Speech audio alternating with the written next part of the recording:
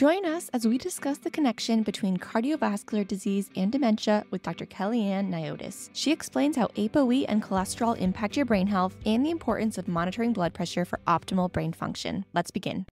So, this is really the easiest way to understand the risk of cardiovascular disease and dementia.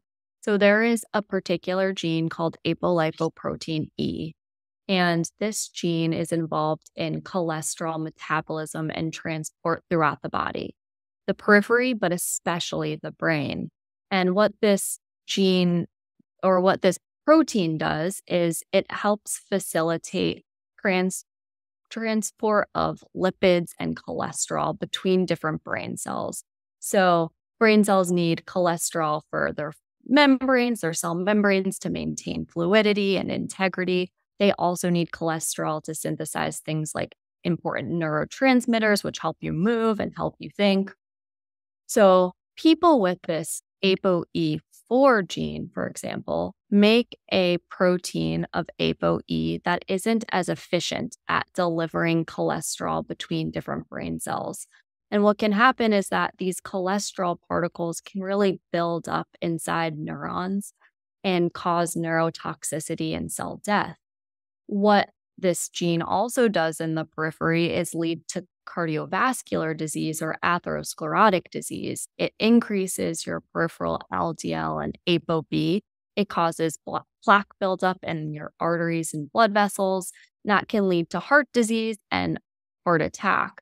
So, while this gene can impact the way that your periphery metabolizes and disposes of cholesterol, it also has impacts in the way that your brain utilizes and disposes of cholesterol.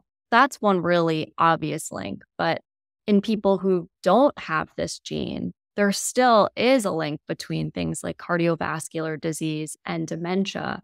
And that's because what happens peripherally often happens centrally. So if you do have high cholesterol, high ApoB, and that's causing narrowing of the blood vessels in your heart and your legs, your neck, also going to affect the blood vessels in your brain. And the brain is a very, it needs a lot of nutrition. So it needs effective blood delivery for oxygen, for glucose, for essential vitamins and fatty acids.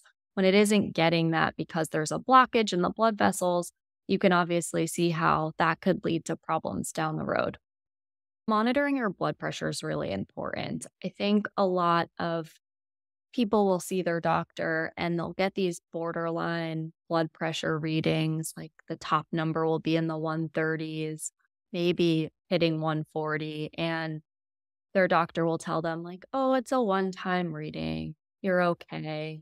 And the truth is that probably if your blood pressure is that high, unless you have what we call white coat hypertension, where where you get super nervous in your doctor's office, I understand. But if you do ever have a reading of high blood pressure in your doctor's office, it's really worthwhile monitoring your blood pressure at home on your own and making sure that that top number is really in the 120s because that seems optimal for overall brain health.